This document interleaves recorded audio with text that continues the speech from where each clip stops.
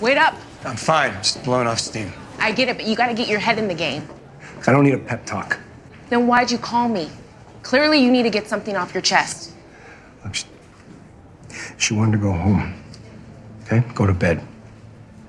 I told her that she should focus on something else. She went out with Caleb because I told her to.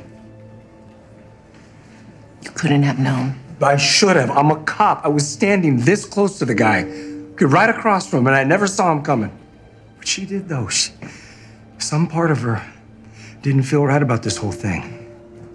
She hesitated, and I, I pushed her right at him.